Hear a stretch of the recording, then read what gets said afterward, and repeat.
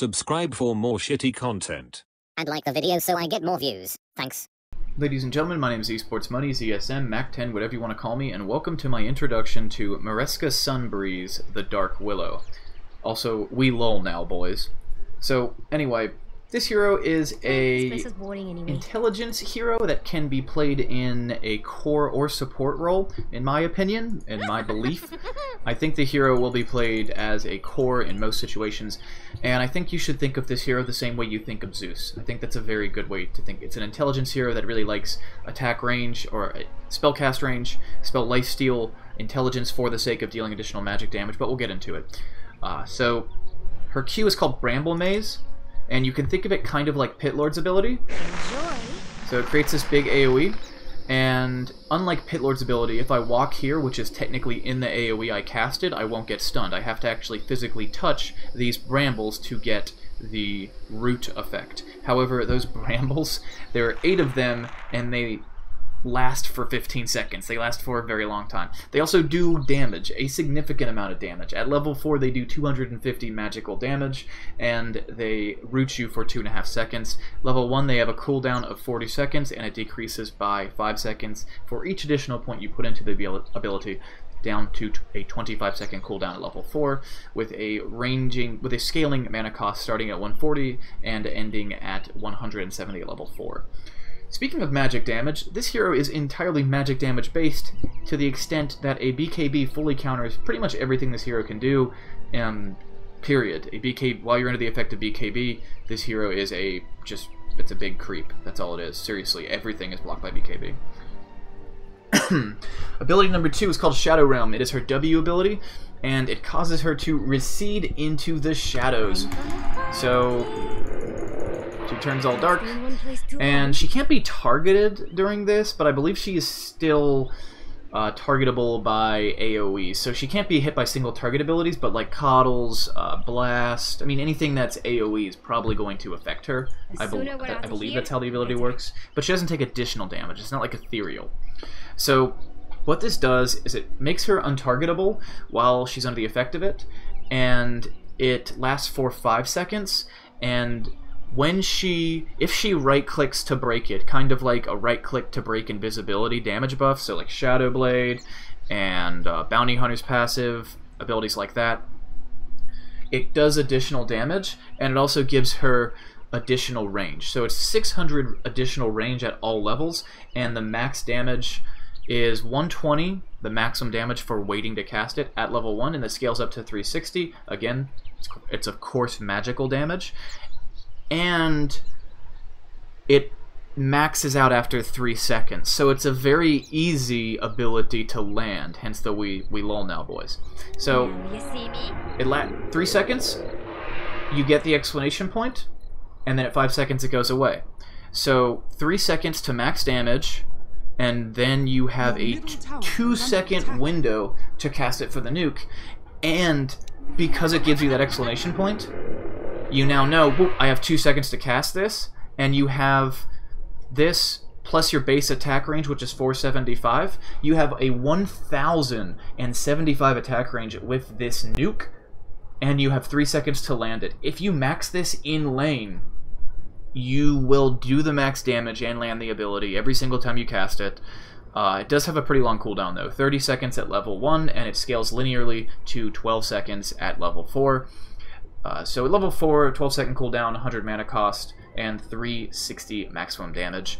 It's a pretty strong ability, I think, for the lane, and I think it's something that people are going to want to put a lot of points into early, just because of the fact that you get so much more damage out of additional points. Versus the Q is kind of a value point proposition because you get the bramble isn't really the bramble maze really isn't intended to grab people as much as it is to deter people from going in an area and you have the same placement duration and the same number of brambles at all levels. The only thing that you're getting is additional cooldown additional damage and a lowered or additional damage additional duration and a shortened cooldown uh, with additional points into it. So this is a value point. This is much less a value point. Put more points into it Her E is called Cursed Crown. I personally believe it'll be one of her least popular abilities, uh, but I'm probably wrong about this. What it does is it basically plants a debuff on you that after 4 seconds, the debuff goes off and enemies are stunned in a 325 second duration around you, uh, or radius around you, on. uh, with a 3.5 second duration. So if I go over here, uh, yep, creep sleep now, but we'll talk about that in another video. So after 4 seconds, it goes off and it stuns everybody. So it's a pretty long stun, it's a pretty hefty stun, and it's only 100 mana at level 1 with an 18 second cooldown. So the cooldown's not very high, and the mana cost is reasonable considering it's a high mana intelligence hero. Uh, the problem is, and the stun's pretty long, at 2 seconds level 1 with 0.5 seconds for every additional point you put into it. The problem is with 4 seconds of delay, you know, you, it's that's like 4 seconds in Dota time is 10 years. Now think about how long we've waited for Your this patch. middle tower is But four seconds is enough time that an enemy hero can get away from their allies and just take the damage alone, get behind their tower. This is a setup that is very good at punishing people for overextending, but it's not something that you can really use to jump out on someone when you're overextending because if they have they have four seconds to get out of it. Her ultimate is involving her pet wisp that lives in her thing right here, her lantern. Uh, what it does is it gives you two new abilities, and one of them is called Bedlam.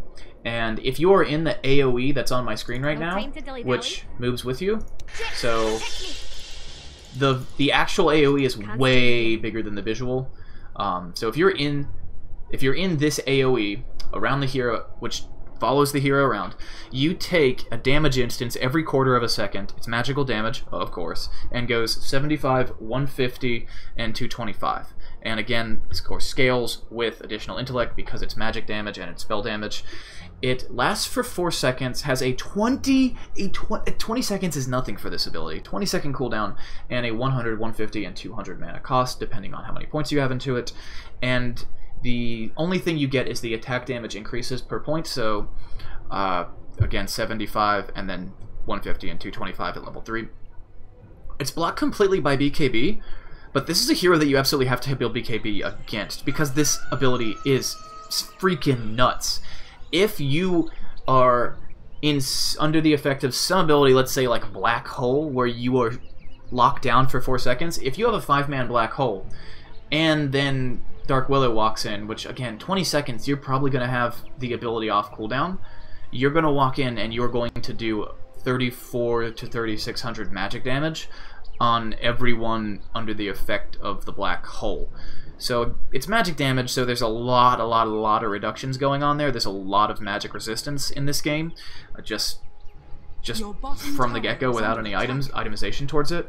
But it's still a massive nuke, and movement speed's probably going to be pretty big on this hero too, because as long as you can keep up with somebody, you're going to continue to do that damage. Her other ultimate is called Terrorize, and it's boring as hell, and you do that. It's got a pretty long cast range, and if you're in that AoE, when that lands, you get affected by fear.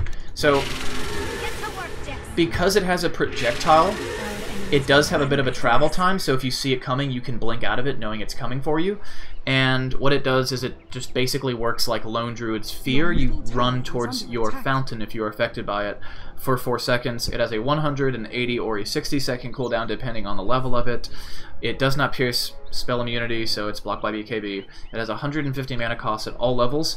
You cannot use uh, this uh, you cannot use either ability while the other is active. So if I press if I use my Bedlam, which does all the damage, I can't use Terrorize. And this is so that you can't terrorize someone, know exactly the path they're going to walk, and then hug them and Bedlam them to death, uh, and vice versa. So when Terrorize is out, enemies will run before us. you can't use this ability until that rendezvous with, until you connect to that wisp that comes back to you. But.